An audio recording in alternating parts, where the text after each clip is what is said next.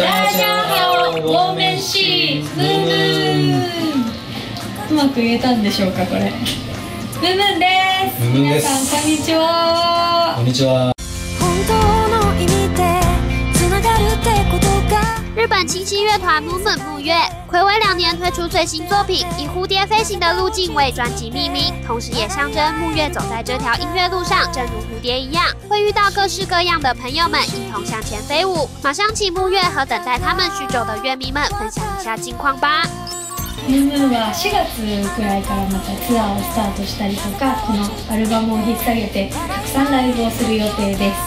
そしてこの「フライウェイズ」というアルバムは「蝶々の通り道」という意味の英語です。はい。はい、えー、ともうすごくハッピーで明るい曲も入っていますし、こうじっくり聴き込むようなあのバラードの曲も入っていますし本当にこう渾身の一作っていう感じの。渾身の。2年7ヶ月ぶりのアルバムなので本当に我々の思いの丈がぎゅーっと詰まった、本当にムームーンっていうアルバムになりました。うん。ムらしいサウンド歌詞世界観が出来上がりましたのでぜひ聴いてください聞いてほしいです。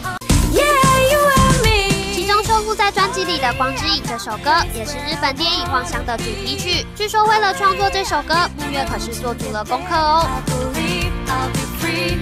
今回は「光の影」という曲を「えー、望郷」という映画の、えー主題歌として書き下ろしたんですけども、えーまずはその映画のお話をいただいてその台本を私たちは読んでですね、えー私もこう原作の小説を読んだり、えーあとは映画の映像を見たりして2人でイメージを膨らましていきました。でこの曲が他の曲と大きく違うところは、えーリズムの楽器だとか本当に分かりやすいこうなんていうのかな楽器っていうものがあんまりさん入っていないので、うんリズムね。ストリそうストリングスの弦楽器の音と歌とさっき言ったようなエレキギターという本当にシンプルな音しか入ってないんだけどすごく感情の複雑なところを、えー描けたような、えー作品になったと思います。ちょっとあの自分たちの曲の中では変わった作りというか、すごくゆったりとこう時間が流れていくような曲になって曾来台湾举办演唱会，当时吸引了许多乐迷到场支持。不晓得木月对台湾是不是也留下深刻的印象呢？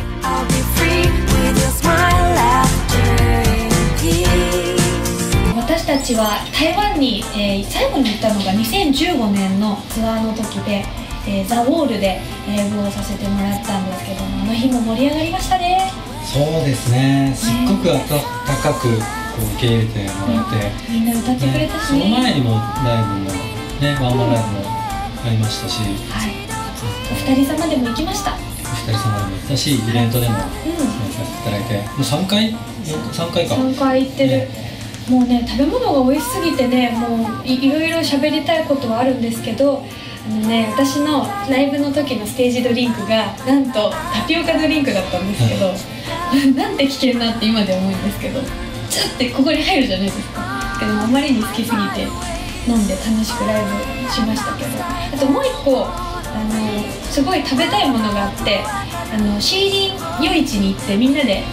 あの麺を食べたりとかいろんなことしたんですけど夜行ってね。私一つだけ心残りがあってこれくらい大きいあの唐揚げみたいなやつをもうこうやって食べてる人がいてそれをずっと羨ましいと思って見たのに私は買えなかったんですよ。勇気がなくてだから次に行った時は絶対シーリン夜市に行ってその大きい唐揚げを食べながら頬張りながら歩きたいなという思いがあります经过了两年的时间，相信大家也很希望能再次看到木月的现场演出吧。最后就请两位对台湾的粉丝们说几句话吧。台湾のファンの皆さんいつも応援してくれて本当にありがとうございます、えーたくさんメッセージをいただいたり、えーみんなに、えーライブに行った時に寄せ書きとか、えいっぱいお手紙をもらって すごくあったかい気持ちをになりました。元気をいただきました、え今回またフライウェイズが、え台湾で発売されるということで、え私たちはとっても嬉しい気持ちです、えーぜひこのアルバムいっぱいいっぱい聴いてあげてください。そして、えまた台湾でライブができるようにね、え会いに行きたいですね。たね近いうちにライブしに行きたいなと思ってます。はい。ぜひ待っていてください。これからも応援よろしくお願いします